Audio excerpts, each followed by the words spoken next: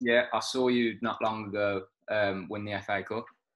I actually watched Yeah. that TV. Um, me and my dad were looking out for you.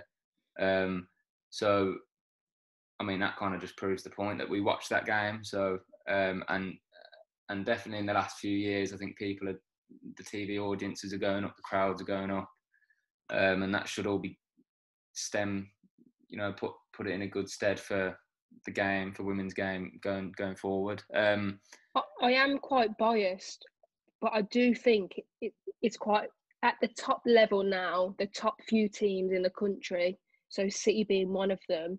We've got quite an exciting or an entertaining product to watch on television. yeah, Going back five years when it wasn't professional, the difference between men and women was just massive. But Yeah. actually, you've got people now that are years. training every day. is it only five years professional for? Yeah, mate, like uh, maybe even less than that, you know, because like the word professional can mean so many things. It can mean you just train every day, or it can mean Yeah. that you're doing it as your only job. And so, really, I'd say only in the last five years, less than that even, has it become the league, the whole league, not just one team, fully professional. Yeah. How many teams are in the league at the minute at- in the women's game in the Premier League? You, you'd think I'd know this. There's either eleven or yeah, there's either eleven or twelve teams in the in the WSL the Women's Super League. Yeah, Okay, and are Blues in in that league at the moment? yeah, yeah.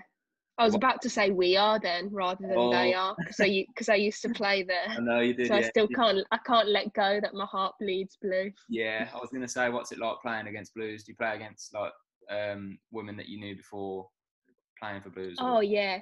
So I actually my last league game before I got injured, I did one of the ligaments in my knee. So I've been out I've actually been out for about a year now, but it was against Birmingham and that was the first time I'd played them after leaving Birmingham. Um so yeah, I still know loads of the girls, still get on with them.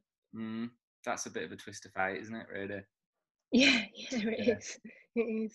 God, uh, are you? How's the recovery going with that with that injury? It's the, did you do your ACL? Was it? Yeah, I, I did my ACL last October actually.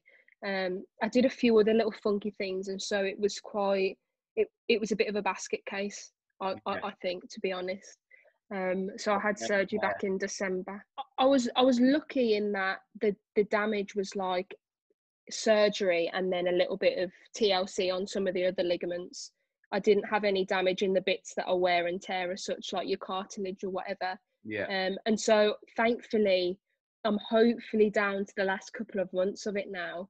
Um, I've just started to feed back into the team training sessions. So by the time I actually play again, I'll have I'll have really I'll have really paid for my uh, for my time. Yeah. Well, it must have been. It must be hard. Um, looking at your career, like, uh, I've had a, obviously I've had a bit of a look at what what you've achieved and stuff. And from the was it under fifteen or under seventeen when you first represented England? Under, Yeah, I think yeah, 15 when I started going on camps and playing on friendly games, and then at this under 17s, you start going away on like little championships and tournaments. yeah. And then I think was it eighteen years old you played in the Champions League? Was that? Yeah, I guess it would have been. Wow, that that's a real blast now. Yeah, for Birmingham actually. Yeah, so blue. So um, that was interesting because obviously blues in the. Um, I'm a Villa fan, by the way, I don't want to rub it in. But blues in the in the male game um, are never going to get to the, the Champions League, um, or they might do, but it, like in recent times they they haven't. Um, so that was interesting to see that blues um, were at that level in the women's game.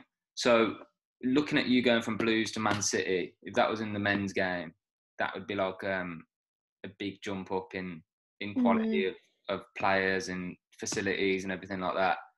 Um, but obviously, if um, if uh, Blues are in the Champions League and you go from Blues to Man City, then it suggests that there wasn't that much of a or, or a difference in in that. Um, how did you find that jump up in in in the pla- in the quality of the players and in the facilities? Was there much of a change from Blues or I think you're right in saying that the jump from Blues men to City men would be bigger than Blues women to City women yeah because historically the Blues women's team has been really strong actually. For for a good few years they were one of the top top um, English teams in, in Europe actually. Um, and so, if I'm honest, the difference was still massive. You know, it was a massive jump up in every respect. So I'm on a team now where players that are lining out into into the team have what we've got one girl who's won the Champions League three times in a row. Really? We've got another girl who's just won the Champions League. We've got two